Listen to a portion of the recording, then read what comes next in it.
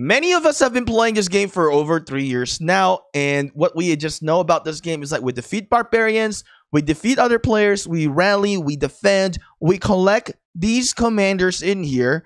Some of these commanders that are historical figure. But many of us kind of not realize that whenever we load the screen, you guys have seen, there is Lilith and Lego games. Today, I discovered, actually I discovered this for a while back now, I discovered who is the actual creator of games.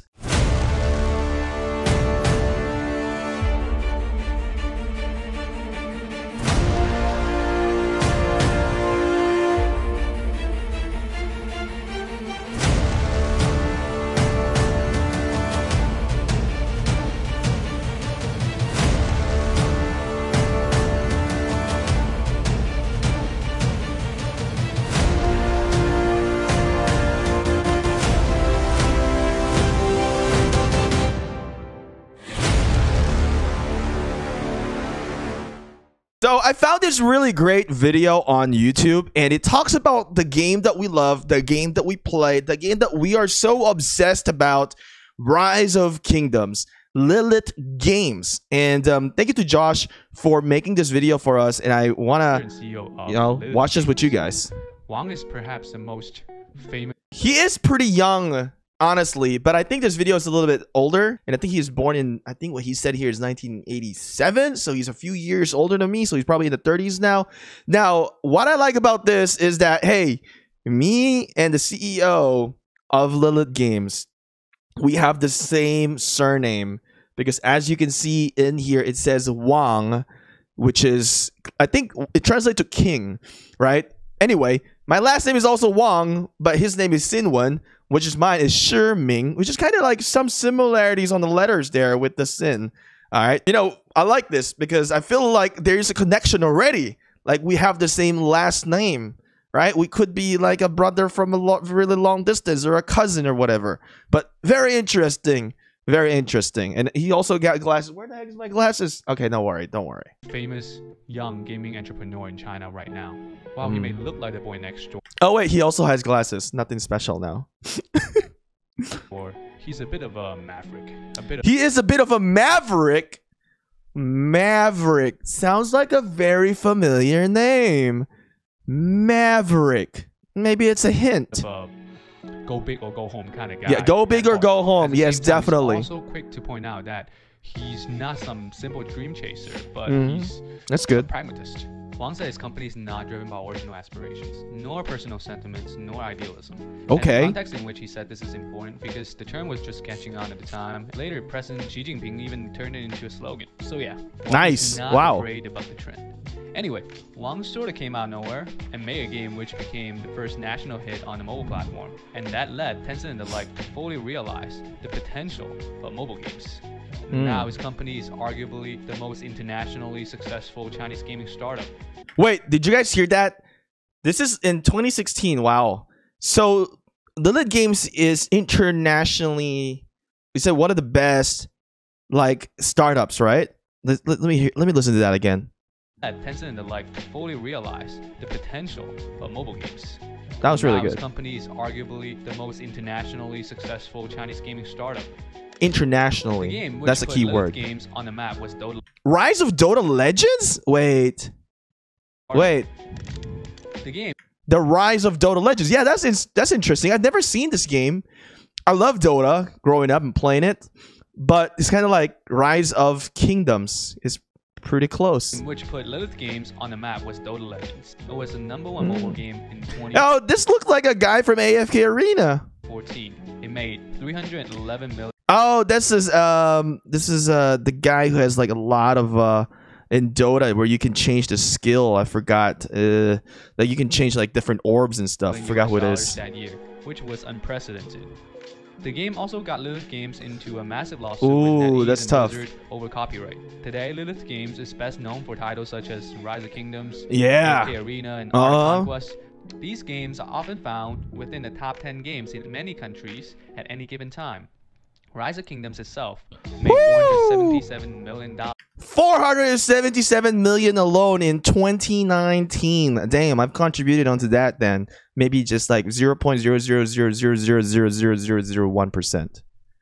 in 2019 alone. Born in 1987, Wang graduated. 1987, 1987. So, um 87, 88, 89, 90, 91, 92. So Wang uh, is only about 5 years older than me. So he's a little bit of a older brother to me, huh? Nanjing University in 2009 and joined Tencent to work on an MMO game. All right. So his four-year stint at Tencent, Wang later described the experience as unsatisfactory. I once worked at Tencent for almost four years, but I really did terribly there. I did not lead anybody, had no management experience, and the year before I left the company, I got a C in my performance review, which is tantamount to being asked to leave.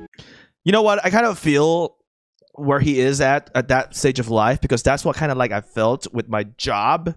Um, you know, I work for biotech and I just felt like I wasn't really moving up. I wasn't really doing anything. I was trying to I want to try something new, something different. So now I'm trying to do this YouTube thing and I'm trying to do other stuff as well, but I feel him right here.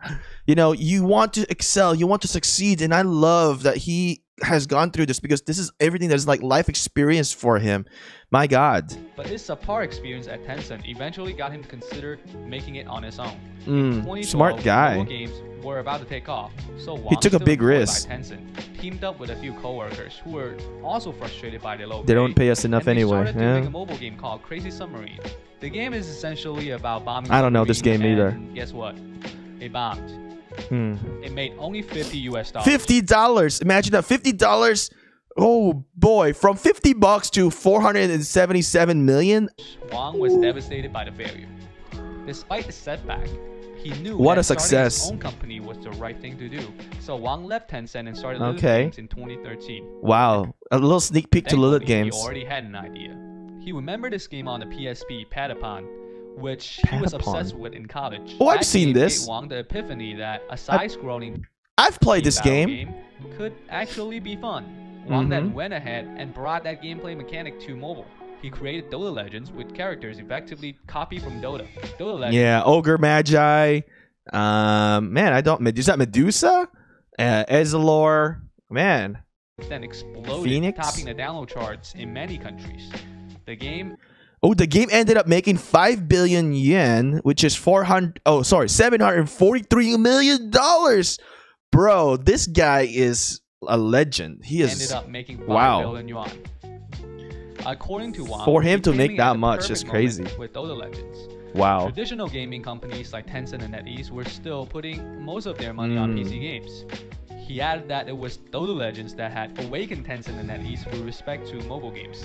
So, what did they say? Sorry, what he say is that basically Wang is the one who pioneered these mobile games and these big companies looked at what he was able to accomplish. Wow, you know, taking a risk into trying something that nobody does is something that is amazing because you just don't know what is the possibility of an outcome if you don't try it. In which he did. He took that risk. He took this, and man, Rise of Kingdoms, you know, absolutely one of the best games I've ever played in mobile. In fact, Dota Legends got so popular that Western companies started copying it. Most Wow. notably, Heroes Charge, a Dota Legends clone, gained traction in North America. Heroes and Charge. even spent 2.25 million dollars on a Super Bowl ad. Wow, two point wait, two point two five on the ads. Jesus. Lilith Games then filed a lawsuit against Ucool, the developer Hmm. of Heroes Charge. But Dota Legends had its own share of legal trouble. Given Dota was a custom game within Warcraft, Yeah, yeah. Blizzard, NetEase, and Valve Corp took Lilith Games Yeah, it's a court. Blizzard game, The right? pressure eventually got to Wang, and the company relented to rebrand the game into Soul Hunters. But Ah, even before the rebranding, the lawsuit had already gotten Dota Legends banned from the App Store. damn. Okay. Nonetheless, having back outsized profit from the game, Wang and his team went to work. Lilith Games came up with Art of Conquest, AFK Arena, and Rise of Kingdoms. So if you guys don't know, you know, Rise of Kingdoms wasn't always Rise of Kingdoms. It used to be Rise of Civilization. But I think without these experiences that Wang is able to experience, he might not have been able to succeed here with Rise of Kingdoms. With having that lawsuit probably from that Dota Legends was actually a good thing because it made him learn in the process of that. Man, he was young. It was like about, I mean, he's younger than my age, and during that time, he was already successful. Man, what am I doing with my life? These are very successful and very innovative. it, it, is very successful. AFK Arena, I played this very successful game as well. arguably more successful in the West than they are in China. Yeah. Which thanks partly to Is this a uh, Markiplier? how savvy they are in promoting themselves overseas. As things stand, Lilith Games is a company just a tier below the giants such as Oh, that's uh, Raid Shadow. Uh, Harkening back to what was said about Wang's pragmatism, he said he was often perceived as this person who operated by personal feeling, and thus Mhm. his products are very polished and innovative. It is. It is. It is. But- one thing I like about that is that the personal personal feeling about it because we know in Rise of Kingdoms the game is so personal, right? You get attacked, you message the person like, "What the fuck? Why did you attack me?" You know, something like that. It's too personal, and I love it. I love the point of it. I've even made videos about people finding best friends in Rise of Kingdoms, finding people that they end up dating, marrying, even. Like, how crazy is that? People found spouse, found a fiance in the game of Rise of Kingdoms. That's absolutely crazy. What Wang is able to create is not just a game, but it's a community, and it, it's just basically a good connection. I still haven't found my mate yet, so I'm just I'm, Wang. I'm still waiting. I'm waiting, bro. When do I find my soulmate in the game? Wang repeatedly stressed that that wasn't his MO. Instead, Oh, it's not Wang your MO, okay. company had to innovate because Yeah. that was the only But it's not your mo. But it was really good though. his company could compete with incumbents. As far as his management philosophy goes, in Hmm. 2015, Wang said to pass probation at his company, new recruits have to finish reading the following books Ooh, wow. The Lean Startup, 0 to 1, Insanely Simple, and The Fifth Discipline. I wonder if he's still implying all of these. Like, I'm curious if Rusty Leo and Asia, who is our um, uh, what is that called, PR in Rise of Kingdoms, if they had to read all those four books. I'm very curious. As a young boy in the sector, he used to sneer at the concept of flat management, but now he's come to acquire an appreciation for it.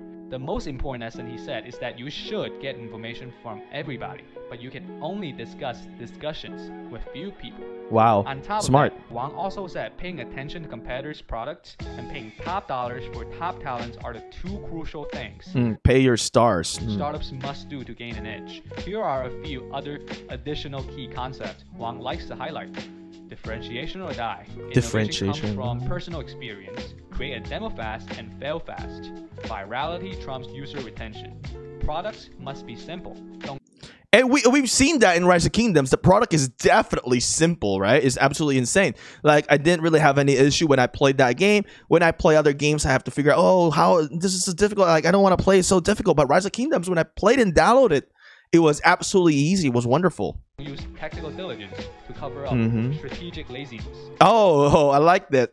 Uh, don't use tactical diligence to cover up strategic To wrap up this laziness. video, I think it's good to shed some light on a mental exercise, which Wang used to like to do with himself to keep Ooh, mental exercise. He said that every now and then we ought to tear out a piece of paper, find a quiet place, and literally write out every piece of thought on our mind. The key is not to filter any thought whatsoever, not even thoughts which may be scary to confront, such as maybe we don't even love our hmm. partners. That sort of thing. He said that this is an important exercise because he believes only 10% of our thoughts are ones we're conscious of. Obviously, this is a difficult exercise, and he said that to complete this exercise, Man, I, I love the story about this dude. You know, I mean, he's just so much like he's on a different level of success and amazingness compared to like me. Um, it's just amazing. I mean, he's so young when he started doing this, taking that risk, and I guess that should empower the the younger generations, like maybe in my age as well, because I guess we're still you know not in the thirties yet. Is to that you know take the risk and try something that is you know different and approach it the way has you know he has done and i like it you know he's a younger guy and is the sector of and very successful gaming uh what he have built like i think right now it, it's um, Lilith Games is a small giant. It's probably not as big as Tencent yet, but I think it's growing to that point. It takes a while to become like the biggest, right? But I think Lilith Games really have a future into this gaming sector. I mean, they've already generated a lot of revenue, but I think is that they have a future into becoming the number one. Exercise, you must destroy this piece of paper. As So long as as long as um the leadership within the company remains, you know, with their focus, I think it will be definitely be a number one uh, company in the gaming sector, especially in, in China. One I would thing- say. But he already said that it's pretty much dominates, right? You know uh, no in it, it dominates in the uh, Western sector, right? So we do know. I mean, even in my YouTube channel, like people that are watching, right, majority is like in the Western sector as well. But we also have some Asian sectors as well. Right? Majority, I think. I think when we think about West, typically it's United States. I guess for me, when I think about West, it's United States. will ever see this. And second, you too feel free to return to this exercise again the next time. Hmm. So yeah, that's the story of Wang Xinwen. I hope you guys enjoy it. Man, that's amazing. Learning about the CEO of the game that we play, Rise of Kingdoms. Really, thank you, Josh, for sharing the story of Wang Xinwen. It's amazing, right? Guys, did you guys know about Wang Xinwen or not? Let me know in the comment section below. Hopefully, you guys enjoyed this content. I will see you again next time.